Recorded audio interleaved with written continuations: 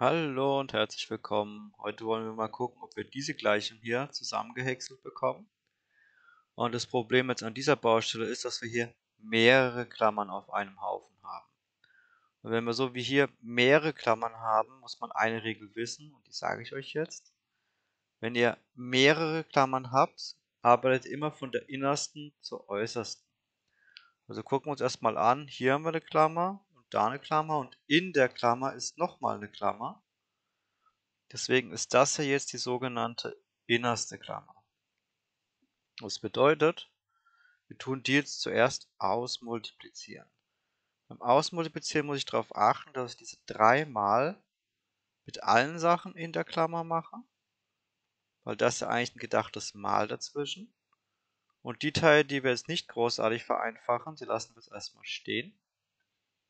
Also 10x plus 2, 4 plus, und jetzt Achtung, 3 mal x sind 3x, plus 3 mal 2 sind plus 6. Jetzt lohnt sich meistens, nachdem man eine Klammer ausmultipliziert hat, zu gucken, ob man was zusammenfassen kann. Hier kann man die 4 und die 6 zusammenfassen.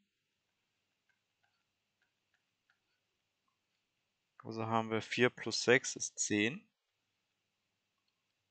plus 3x gleich 100. Und jetzt gucken wir die nächste Klammer an, die übrig bleibt. Das ist die hier. Jetzt müssen wir die ausmultiplizieren. Dann müssen wir dran denken, jedes mit jedem. Dann haben wir im Endeffekt 10 x plus 20 weil 2 mal 10 plus 2 mal 3x sind plus 6x sind 100. Dann gucken wir wieder, nachdem wir ausmultipliziert haben, können wir was zusammenfassen. Ja, 10x und 6x sind 16x.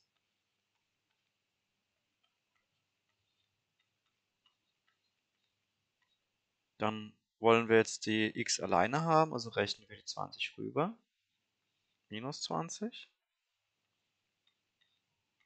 16x gleich 80. Und der letzte Schritt ist jetzt, dass wir das hier weghaben wollen. Zwischen dem 16 und dem x ist ja ein gedachtes Malzeichen.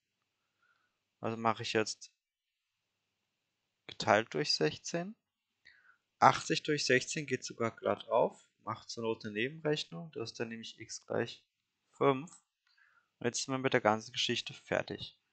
Das Wichtige, was ihr von Videos aber mitnehmen müsst, ist, wenn ihr mehrere Klammern habt, immer von der innersten zur äußersten arbeiten, danach zusammenfassen und zu guter halt noch Punkt vor Strich verachten.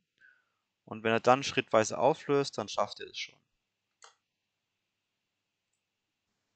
Wie immer an der Stelle hoffe ich, dass das Video für dich hilfreich war und du was lernen konntest. Das habe ich gerne gemacht. Wenn du vielleicht jemanden kennst, der gerade am gleichen Problem hockt wie du auch, und dem das hilfreich sein könnte, kannst du das Video auch wirklich gerne teilen. Wenn du Lust hast, noch ein bisschen mehr zu lernen, habe ich dir hier oben noch ein weiteres Video verlinkt, wo du gucken kannst. Oder wenn du das toll findest, was du machst und Lust auf weitere Videos hast, die dich in deinem Studium unterstützen können, kannst du die Katze auch gerne abonnieren. Und wie immer, bleib am Ball, glaub an dich, du kannst das alles.